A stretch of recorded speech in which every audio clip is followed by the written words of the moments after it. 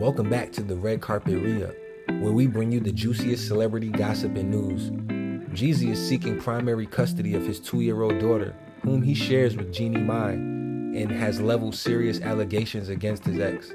According to documents obtained by the Red Carpet Re-Up, Jeezy has accused Mai of orchestrating a photo featuring their child alongside one of his firearms, insinuating that she is unsafe around him.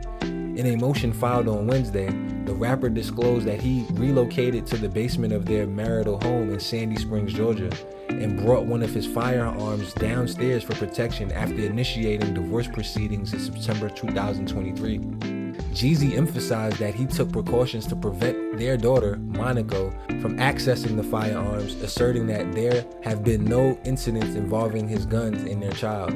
He stated, At no times relevant here too has the minor child had the ability to wander into the basement in the marital residence because there was a gate to keep the toddler from doing so, and the minor child was monitored at all times. He alleged that either Mai or her brother staged the photo of their child near his gun.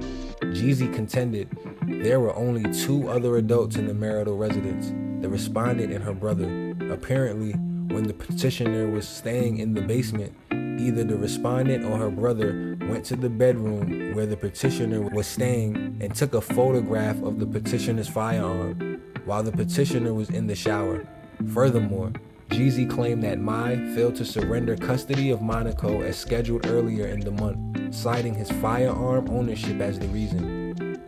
He expressed concerns about Mai's lifestyle, stating that their daughter had been taken to various locations since February 26, including Vietnam, Los Angeles, New York, Texas, and Massachusetts, which he believes is not conducive to a two year old's well being. Jeezy asserts that their daughter would benefit from more stability and advocated for primary physical custody, emphasizing the importance of maintaining her relationship with both parents. Lastly, don't forget to like, share, and subscribe for more exclusive content from the Red Carpet Re-Up.